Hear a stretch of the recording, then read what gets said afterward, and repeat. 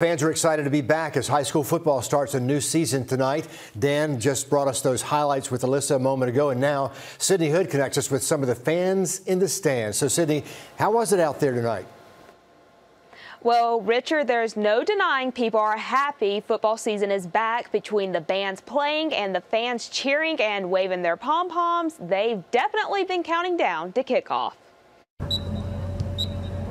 This football Friday night in Harlem, Georgia, and you will see the stands full.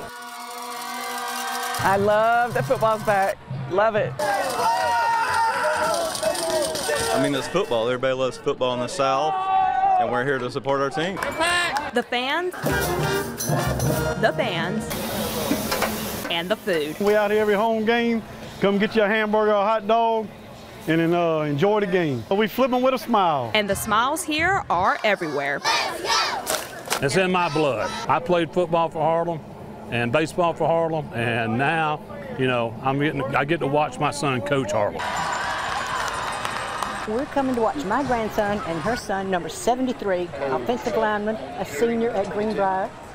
I wouldn't miss the game for anything in the world.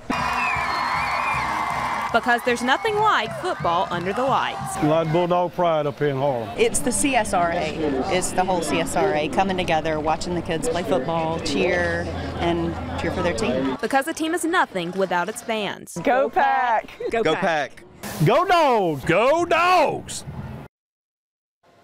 And, you know, it's definitely hard to tell who walked away with the most school spirit tonight. But again, you can say folks are happy to be back under the lights. Absolutely. That was a lot of fun, Sydney. Thanks for bringing us uh, some of the sights and sounds. And the food looked pretty good out there, too. Thanks for the update from the newsroom.